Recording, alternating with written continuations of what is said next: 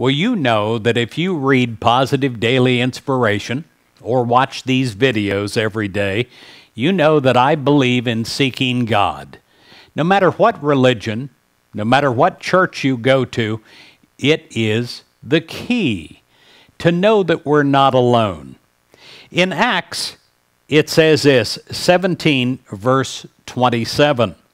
They should seek God in the hope that they might feel after God and find God.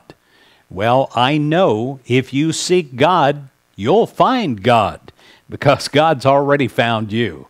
And God is already with you, even if you're looking the other way. Just as surely as night follows day and day follows night, there is a balance in all of creation. We realize balance in our lives as we become centered in God through regular prayer time and returning our thoughts to God throughout the day. I often tell you that one of the techniques when I really need to reconnect is I time tithe. I give six minutes out of every hour back to God at the beginning of the hour. How do I remember to do this? In the waking hours, I set a timer.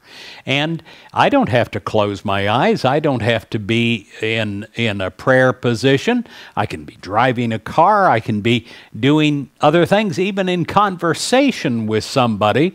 But I'm time tithing. I'm giving that time back to God in prayer, silently, inside of myself. And what a day I have when I do that.